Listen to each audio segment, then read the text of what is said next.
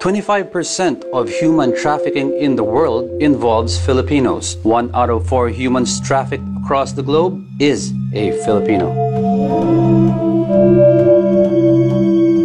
Ate Emma! Hi, Chrissy! If loving someone is a crime, I'm sorry! Alam ko naman galit sila sa akin dahil Muslim ako. Ang buhay, parang isang buwan. Umiikot din yan. Magbabago din ang ihip ng hangin. This is not a perfect world. Kumusta na mga tropa natin? Marami tayong operations. Handa ako sa mga raids. Mga polis at army, mainit na mainit sa drug operations natin sa Mindanao. Kaya dapat sa mga babae tayo nakatutok. all this hatred, all this anger. They're looking for love. Don't you get it? Madalas kitang nakikitang nagdarasal ng rosaryo. Hindi ko sinasabi kay Abbas.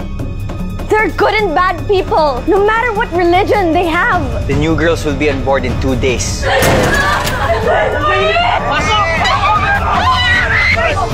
Find her. Hanap tayo ng paraan para maligtas sila.